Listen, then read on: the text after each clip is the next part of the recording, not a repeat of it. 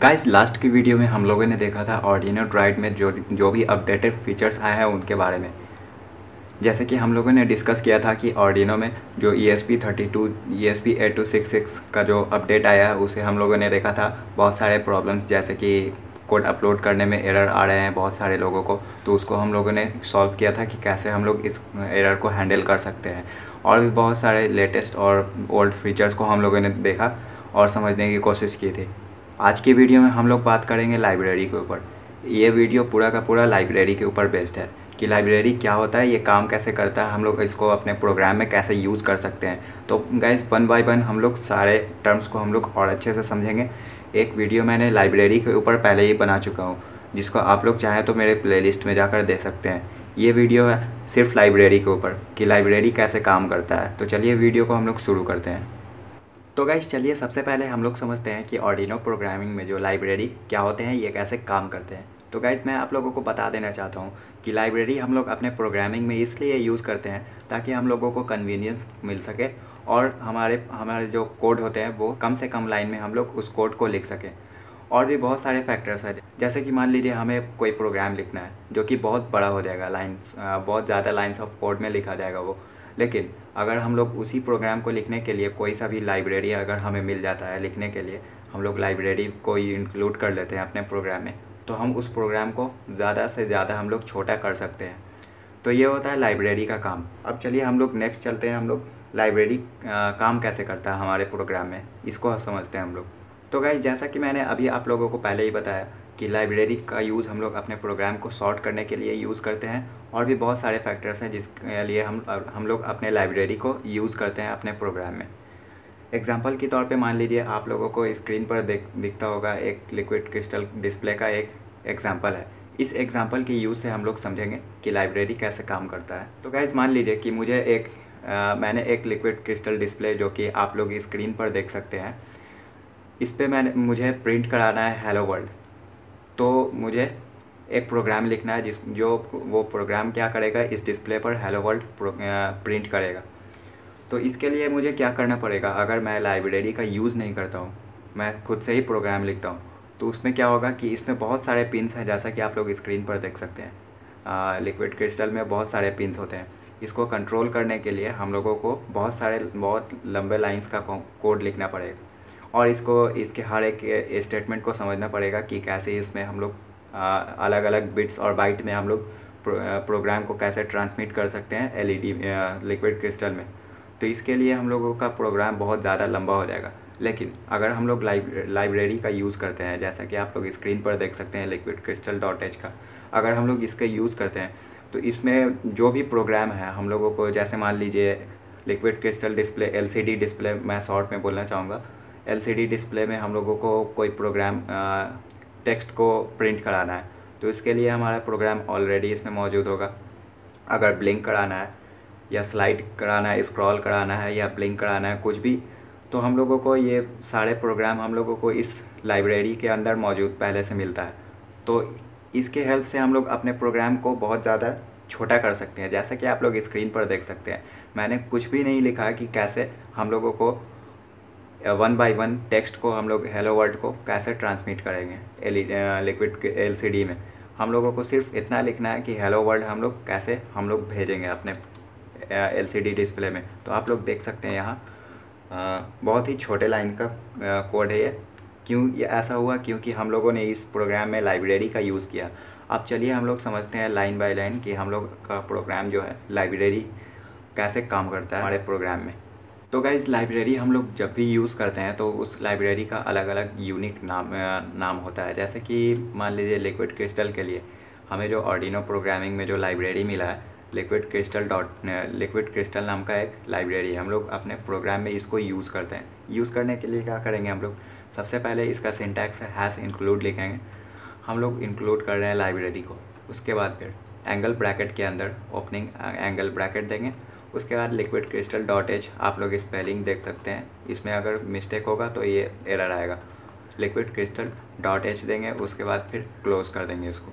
तो ये हो गया आ, तरीका हमारा जो लाइब्रेरी को इंक्लूड करने का। अब नेक्स्ट लाइन में चलते हैं हम लोग। ये जो आप लोग ग्रीन लाइन से ग्रीन टेक्स्ट आप लोग देख सकते हैं ये कमेंट है।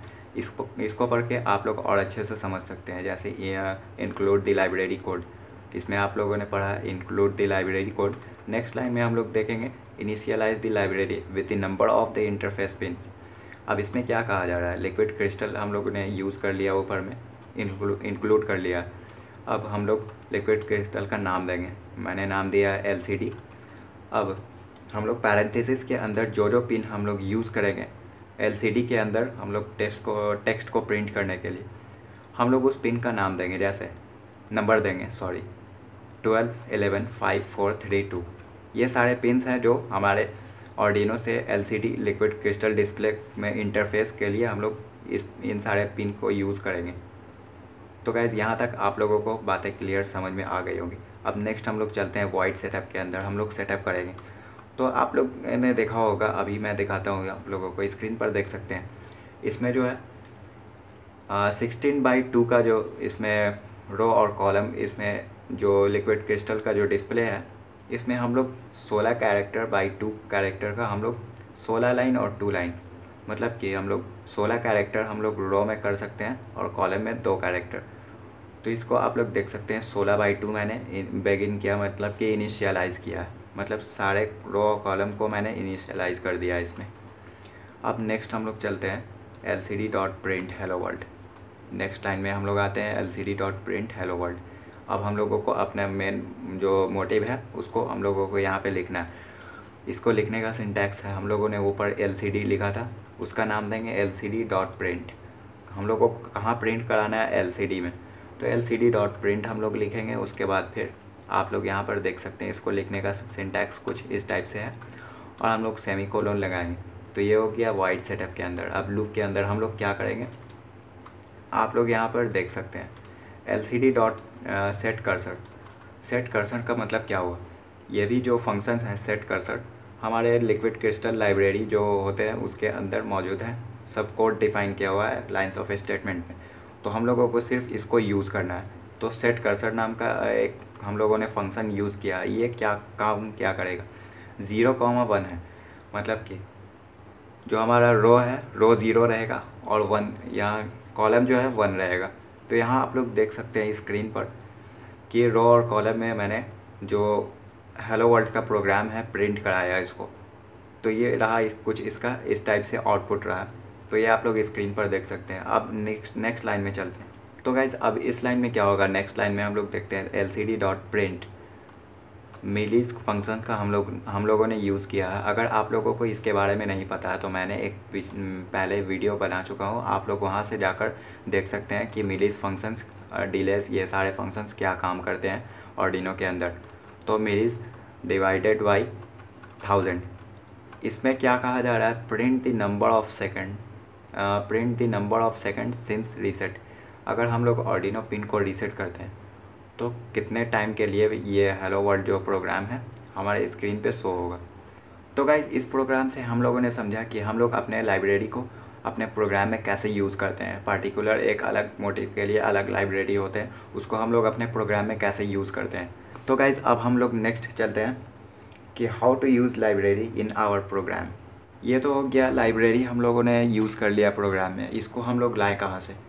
अगर मान लीजिए हमारे ऑर्डिनो जो आईडी है, इसके अंदर ऑर्डिनो ड्राइव इसके अंदर हम लोग लाइब्रेरी नहीं रखेंगे। तो हम लोग अगर इसके ऊपर देंगे library has include like liquid crystal dot h अगर ये लाइब्रेरी हमारे आईडी में नहीं मिलेगा तो हमें फिर भी एरर आएगा। तो मेक श्योर कि आप लोगों को पता होना चाहिए कि आपके आईडी में लिक्विड क्रिस्टल नाम का लाइब्रेरी पहले से इंस्टॉल्ड है। तो हम लोग कैसे चेक करेंगे कि हमारे जो लाइब्रेरी आईडी में जो लिक्विड क्रिस्टल नाम का लाइब्रेरी है, ये कैसे इंस्टॉल है। तो हम लोग सिंपली सा जाएँगे ऊपर में थ्री डॉट में। अब थ्री डॉट के अंदर हम लोग जाएँगे लाइब्रेरी सेक्शन वाले सेक्शन में। यहाँ आप लोग देख सकते हैं। अब इस सेक्शन में जाने के बाद हम लोगों को दो ऑप्शन मिलेगा, मैनेज लाइब्रेरी और ऐड जिप लाइब्रेरी। अगर हम लोग ऐड जिप लाइब्रेरी वाले सेक्शन में जाएँगे तो हमारे हमें ये पहुँचा देगा फ़ाइल मैनेजर वाले सेक्शन में। अगर मान लीजिए हम लोगों को, हम लोगों ने लाइब्रेरी को कहीं और से गूगल से डाउनलोड किया, किसी वेबसाइट से डाउनलोड किया तो वो फ़ाइल मैनेजर में रहेगा।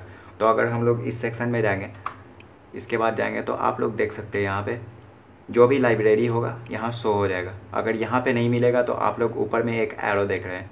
इसके अंदर जाएँगे तो ये आप लोगों को और एक डीप में ले जाएगा, और एक स्टेप अंदर ले जाएगा माई फ़ाइल मैनेजर में। तो आप लोग वहाँ से अपने फोल्डर के अंदर जाकर आप लोग चेक कर सकते हैं कि मैंने लाइब्रेरी को कहाँ डाउनलोड करके रखा है। तो आप लोग वहाँ से सिंपली सा डाउनलोड करेंगे उसके बाद फिर सेलेक्ट करके इंस्टॉल कर लेंगे। तो गाइज़ अभी हम लोग जाएँगे वापस से फिर से थ्री डॉट में। थ्री डॉट में जाने के बाद लाइब्रेरीज़ के अंदर जाएँगे हम लोग। उसके बाद मैनेज लाइब्रेरी में जाएँगे। मैनेज लाइब्रेरी के बाद जाने में आ, उसके अंदर जाने के बाद हम लोगों को मिलेगा। जो भी इंस्टॉल किया हुआ लाइब्रेरी है, जैसे कि ब्रिज है कैपेसिटिव सेंसर है एक्सप्लोरा है इथरनेट है, ये सारे लाइब्रेरी हम लोगों को पहले से मौजूद हैं डाउनलोड किया किया हुआ है। तो इसमें आप लोग देख सकते हैं, जैसे कि आप लोग देख सकते हैं कीबोर्ड के नीचे वाले सेक्शन में हम लोगों ने लिक्विड क्रिस्टल नाम का लाइब्रेरी को इंस्टॉल कर रखा है। अगर मान लीजिए in case library liquid crystal library हमारे प्रोग्राम में यहाँ पे नहीं है तो आप लोग ऊपर में देख सकते हैं अवेलेबल वाले में। तो अवेलेबल वाले सेक्शन में हम लोग जाएँगे। इस पर क्लिक करेंगे। थोड़ा वेट करना पड़ेगा इसमें। नेटवर्क से सर्च करेगा ये। अब आप लोग यहाँ पर देख सकते हैं बहुत सारा ऑप्शन खुल गया है। जैसे Arduino B M P three eight eight ये सारे लाइब्रेरीज हम लोग, हम लोगों को डाउनलोड करने के लिए मिले। तो गाइज़ यहाँ से हम लोग लाइब्रेरी को डाउनलोड कर सकते हैं। मान लीजिए हम लोगों को लिक्विड क्रिस्टल नाम का लाइब्रेरी को डाउनलोड करना है। तो हम लोग सिंपली सा लिखेंगे यहाँ पे। तो गाइज़ जैसे ही हम लोगों ने लिक्विड नाम लिक्विड कीवर्ड लिखा है इसमें तो इस कीवर्ड से रिलेटेड जितना भी लिक्विड नाम का अगर टैग इसमें दिया हुआ है तो सारा यहाँ पे आप लोगों को खुल जाएगा ऊपर में। जैसे कि आडा फ्रूट लिक्विड क्रिस्टल तो अगर हम लोगों का लाइब्रेरी कुछ इस टाइप से है तो हम लोग हम लोग इसको इंस्टॉल करेंगे। तो इंस्टॉल करने के लिए आप लोग राइट साइड में देख सकते हैं, एक डाउनलोड वाला आइकन बना हुआ। तो यहाँ से हम लोग डाउनलोड वाले आइकन पे क्लिक करेंगे। तो अब देखिए यहाँ पे हमारा लाइब्रेरी इंस्टॉल हो चुका है। तो इसी टाइप से हम लोग कुछ भी, कोई सा भी लाइब्रेरी यहाँ से डाउनलोड करके इंस्टॉल कर सकते हैं। और फिर भी हम लोग यहाँ को हम लोगों को यहाँ लाइब्रेरी नहीं मिले। तो आप लोग गूगल करके, आप लोग बहुत सारे लाइब्रेरी को गूगल से गूगल के ज़रिए बहुत सारे वेबसाइट से भी डाउनलोड कर सकते हैं। एग्जांपल के तौर पे गिटहब से भी डाउनलोड कर सकते हैं और भी बहुत सारे वेबसाइट हैं, जैसे कि वहाँ से भी आप लोग डाउनलोड कर सकते हैं अपनी लाइब्रेरी को। तो गाइज़ ये ये था कुछ लाइब्रेरी को इंस्टॉल करने का अपने आईडी में, कुछ तरीका मैंने बताया। अब नेक्स्ट हम लोग सबसे लास्ट वाले टॉपिक के ऊपर चलते हैं।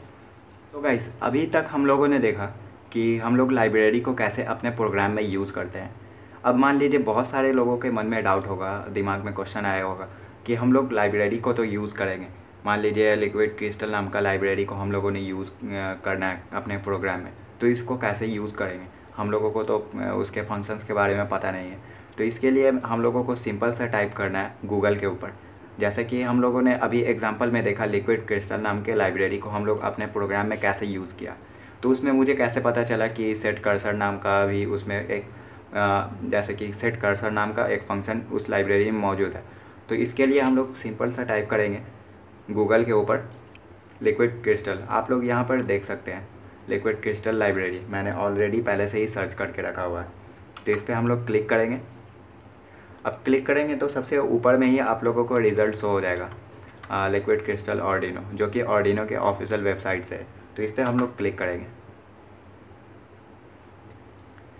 अब गाइज़ जैसे ही हम लोग इस पर क्लिक करेंगे तो इस पर जो भी वेबसाइट पे इस पर इस लाइब्रेरी से रिलेटेड जो भी क्वेश्चन है, हम लोगों को यहाँ पे सॉल्व हो जाएगा।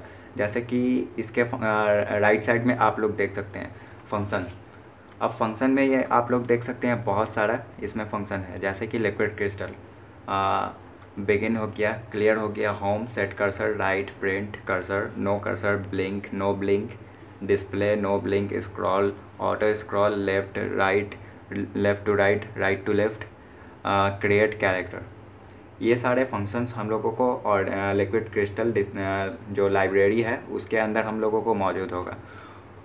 तो इसके नाम से आप लोग देख सकते हैं, जैसे कि no display display scroll left scroll display left अगर हम लोग इस पर क्लिक करेंगे तो इसके रिलेटेड इससे रिलेटेड जितने भी हम लोगों को इन्फॉर्मेशन है, हम लोगों को यहाँ पे मिल जाएँगे। जैसे कि आप लोग देख सकते हैं, सबसे टॉप पे स्क्रॉल डिस्प्ले लेफ़्ट ये जो फ़ंक्शन है, हम लोगों को कैसे यूज़ करना है तो आप लोग यहाँ पर देख सकते हैं डिस्क्रिप्शन में। Scroll the content of the display text and cursor one space to to the left ये हो गया इसका डिस्क्रिप्शन सिंटैक्स कुछ इस टाइप से है L C D dot scroll display left parenthesis देंगे ओपने ओपन और क्लोज दोनों देंगे यहाँ पे। अब पैरामीटर है L C D variable of type liquid crystal जैसे कि हम लोगों ने अपने प्रोग्राम में देखा गाइज़ हम लोगों ने देखा लिक्विड क्रिस्टल उसके बाद हम लोगों ने देखा एल सी डी पैरेंथेसिस के अंदर हम लोगों ने पिन को डिफाइन किया कि कौन कौन से नंबर के, के पिन को हम लोग अपने प्रोग्राम में यूज़ कर सकते हैं पैरामीटर अब आप लोगों को समझ में आ गया होगा कि लाइब्रेरी को हम लोग अपने प्रोग्राम में कैसे यूज़ कर सकते हैं। उसके फ़ंक्शंस को हम लोगों को जानने के लिए सिंपल सा टाइप करेंगे गूगल पे। उससे रिलेटेड जो भी प्रॉब्लम है, जो भी एग्जांपल है, हम लोगों को गूगल पे ऑर्डिनो के वेबसाइट पे हम लोगों को मिल जाएगा। अगर फिर भी आप लोगों को कोई कोई सा भी डाउट हो तो आप लोग कमेंट में पूछना। और अगर आप लोगों को ज़्यादा डिटेल में कुछ आंसर चाहिए तो आप लोग मेरे इंस्टाग्राम पर फॉलो करके आप लोग मुझसे वहाँ क्वेश्चन पूछ सकते हैं, मैं आप लोगों का आंसर वहाँ करूँगा। तो गाइज़ उम्मीद करता हूँ कि आप लोगों को ये वीडियो ज़रूर पसंद आई होगी। अगर पसंद आए तो इस वीडियो को लाइक करना शेयर करना अपने दोस्तों के साथ और गाइस अगर आप मेरे चैनल पर नए हो तो चैनल को सब्सक्राइब कर लेना।